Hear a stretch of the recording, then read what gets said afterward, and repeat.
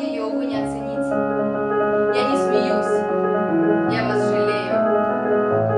Мне вас не хочется любить. Чудак, ну что, ну как?